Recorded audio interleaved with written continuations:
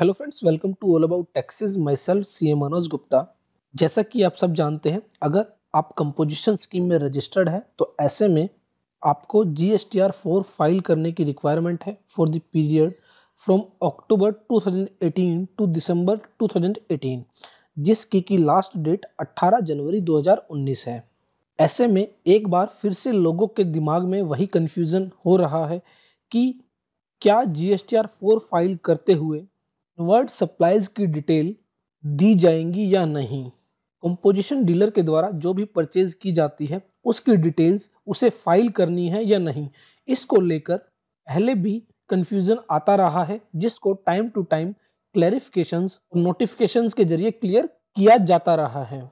लेकिन एक बार फिर से वही कंफ्यूजन अक्टूबर 18 से लेकर दिसंबर 18 तक फ़ाइल की जाने वाली G S T R four को लेकर आ रहा है। अब की बात यह कंफ्यूजन पहले से ज़्यादा है, क्योंकि अगर आप एक कंपोजिशन स्कीम में रजिस्टर्ड पर्सन है और आप अपने जीएसटी पोर्टल पर लॉगिन करते हैं लॉगिन करने के बाद आप रिटर्न डैशबोर्ड पर क्लिक करते हैं और आफ्टर दैट आप फाइनेंशियल ईयर 2018-19 के लिए रिटर्न फाइलिंग पीरियड अक्टूबर से दिसंबर सेलेक्ट करते हैं और जी एस को ऑनलाइन प्रिपेयर करते हैं तो ऐसे में आपके सामने एक बहुत बड़ा क्वेश्चन आ जाता है। जिसमें आपसे point number two three four five में पूछा गया है कि अगर ड्यूरिंग द पीरियड आपने इनवर्ड सप्लाई रिसीव की है तो ऐसे में उनकी डिटेल्स आप यहाँ पर फिल करें। इसको लेकर लोगों के दिमाग में कंफ्यूजन है कि इसको फिल करना है या नहीं करना है। फ्रेंड्स जैसा कि आप यहाँ देख रहे हैं टेबल फोर ए में आपसे डिटेल मांगी गई है have you made inward supplies other than reverse charge supplies तो other than reverse charge supplies के अलावा और कोई आपने सप्लाई रिसीव की है तो वह आपको टेबल फोर ए में मैंशन करनी है। उसके बाद टेबल फोर बी में आपसे पूछा गया है have you made inward supplies attracting reverse charge तो जो भी सप्लाईज आपने रिसीव की है और उन पर एज ए रिसिपियंट आपको under reverse charge tax pay करना है वह सभी सप्लाईज आपको टेबल फोर बी में मेंशन करनी है। उसके बाद टेबल फोर सी में आपसे पूछा गया है have you received any supplies from unregistered suppliers during the period table four C में आपसे पूछा गया है कि क्या आपने इस पीरियड के दौरान अनरजिस्टर्ड पर्सन से कोई सप्लाई ली है? उसके बाद टेबल फोर डी में आपसे पूछा गया है have you made imported any service तो क्या आपने कोई सर्विस इंपोर्ट की है ड्यूरिंग दिस पीरियड तो वह आपको यहाँ पर मेंशन करनी है।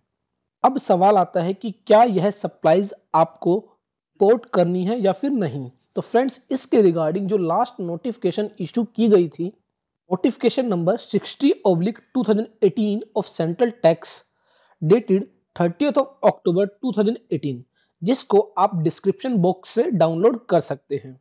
जिसके पॉइंट नंबर सिक्स में स्पेसिफाई किया गया है in inform GSTR four in the instruction for serial number the following shall be substituted namely information against the serial 4a of table 4 shall not be furnished तो last time notification number 60 oblique 2018 of central tax के ज़रिए यह बताया गया था कि आपको table 4 की सीरियल नंबर 4a को फिल नहीं करना है इसका मतलब यह है कि आपको टेबल फोर ए फिल नहीं करनी है।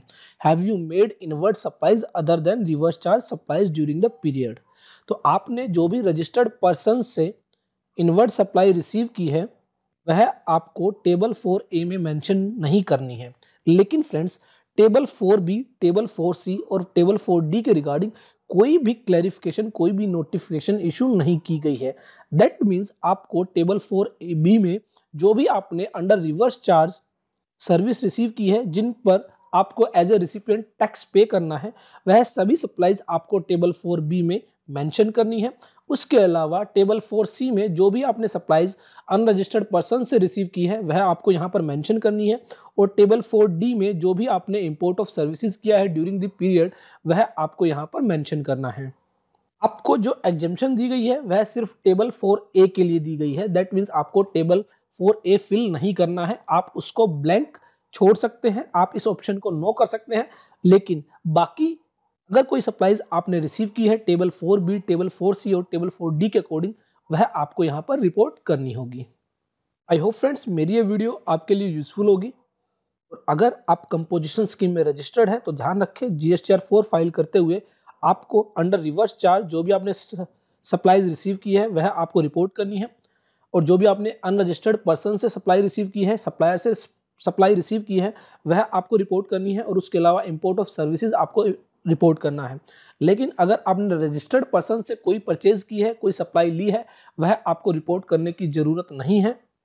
और अगर आपको मेरी ये वीडियो पसंद आती है तो लाइक ज़रूर कीजिए शेयर करना मत भूलिएगा। देखते रहिए ऑल अबाउट टैक्सेस